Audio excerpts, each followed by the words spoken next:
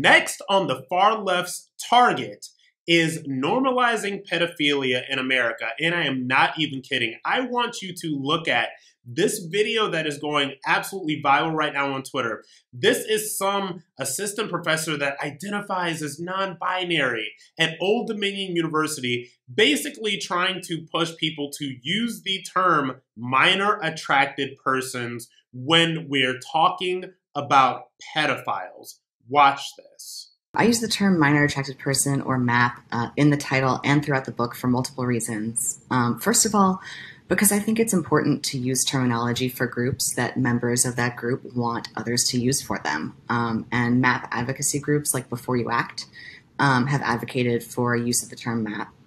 Um, they've advocated for it primarily because it's less stigmatizing than other terms like pedophile. Uh, a lot of people, when they hear the term pedophile, they automatically assume that it means a sex offender. Uh, and that isn't true, and it leads to a lot of misconceptions about attractions toward minors. Um, I've definitely heard the idea that you brought up, though, that the use of the term minor attracted person suggests that it's okay to be attracted to children.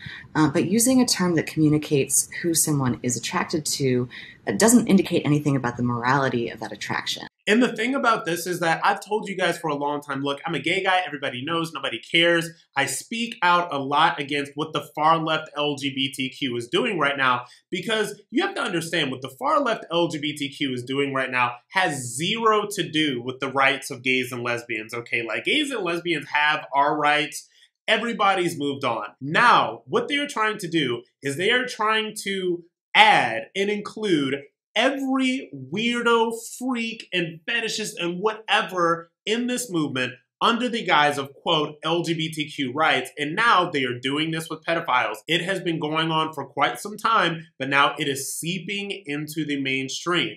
And the reason that I have to tell you this here and not on some other social media platforms is because if I did something like this on one of the other social media platforms, it would be completely suppressed, right? So I just wanted to make you aware of the fact that the far left LGBTQ is trying to legitimize pedophilia. They're trying to make this some sort of protected class, a protected orientation, or something like that. I, as a gay man, am totally and 100% equivocally against this nonsense. Most gays and lesbians are. Like I said, this isn't about gays and lesbians. This is about leftism having taken over what used to be the LGBT community. I don't know what that is anymore. I have opted out of it. Um, I, you know, gave them my two week notice. I gave my resignation and I said, I am gone.